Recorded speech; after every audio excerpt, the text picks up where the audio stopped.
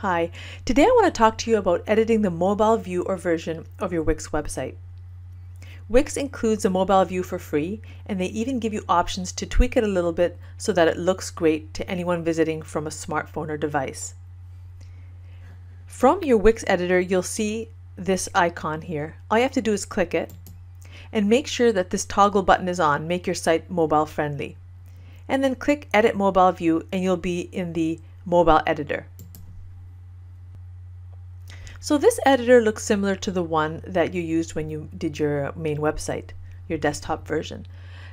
It has three buttons on the left, but this time they're a little different. You have background, you have mobile, which I'll explain more, and then you have hidden elements. So you can actually choose to hide or show certain elements on the mobile view. Sometimes you don't need something to clutter up your mobile view and then you can just hide that. Any changes that you make on your mobile view do not affect your desktop. So that's a good thing to keep in mind as you work away here. You're just focusing on mobile viewers and giving them the greatest experience with your website when they're on their device. On the right, you'll see the toolbar that we used before. And as you work with elements, the different buttons will become live and then you can use those. So I recommend that you just go through each page, have a look at the spacing, where things are, make sure nothing's sitting on top of something else, it sometimes happens that when you modify a template, things just get thrown off a little bit. So they've done their best for you, but there's going to be some tweaking involved. So to begin with, I just want to show you an example here. So where I have my tagline, it kind of is sitting off to the left and I want that to be centered.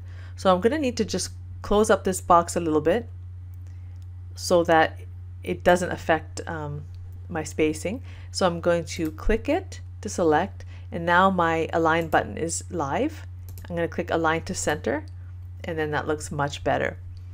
Your text can also be enlarged or decreased simply by tapping on scale down or scale up. And that way you get a bit more of a customized look. Right, the font size here, again, I can increase or decrease. I can modify the color. So say if on my mobile view I wanted that to be black, I could do that as well and it applies automatically. Now in the top right, you're going to see the mobile menu. Click on that, click navigate, and here's all the pages that will be displayed in your mobile menu. If you don't want a page to show there, simply click the gear beside it and then click to hide it from the mobile menu. If you click on settings, you can choose to freeze the menu. And I like doing that because as you'll see here, when you freeze your menu, it's always visible. It makes it easy for visitors to navigate to other pages even when they scroll down the page. The design can be changed and so forth. So have a look at that. Keep on scrolling down. Check out the different spacing. Make sure, sure things look good. Maybe you want the map to be a little smaller so you can just use these little white buttons here and make it a little smaller so that the uh, contact form shows. You'll see arrows pop up so you can move something down or up and even hide a section if you want to. So you're going to go down through each page and just double check that the spacing is right, change anything you want. Uh, before I move on to the next page, I'll show you here that uh, the background can also be adjusted you have the same three options as before. So color, image, or video. Let me just show you with the color. I could change it to just that a lighter tan color if I wanted my mobile view just to have a slightly different look. You can really customize here, which is really nice. And you see that background color was applied throughout. On the mobile view, or mobile button I should say, you've got uh, three options here. So let's just click on each one mobile view, it's going to give your visitors the best user experience on smaller screens rather than just condensing your desktop view. So it's it's slightly different when you do that. And it's a great idea to take advantage of that feature since it's free anyways. The toggle bar needs to be on for that to happen. Back to the top button, that's actually a cool idea. If you put it on, then let me just show you what happens when you preview the mobile view. As I scroll, you'll see an arrow pop up. So if a person was to click on that, they would automatically scroll back up to the top of the page. So you're making it convenient and easy for people to navigate your site from their devices, and that's really important. The mobile action bar is something you can choose to have added when somebody accesses your site from a mobile device. It'll have certain elements that you choose on the action bar, and people can contact you directly with the click of a button.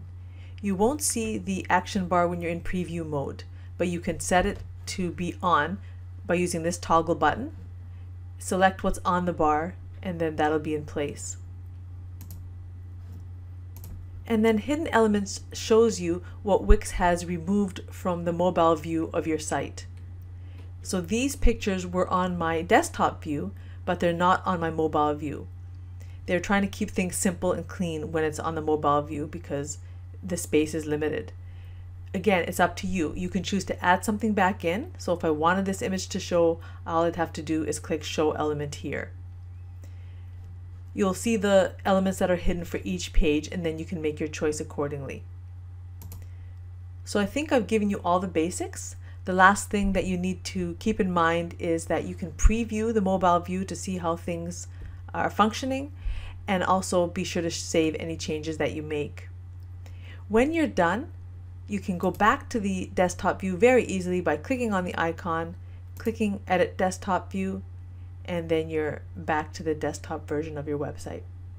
I hope you've enjoyed this video on editing your mobile view. Get your site looking great so that no matter what device someone visits you from, they'll have a great experience. Thanks for watching.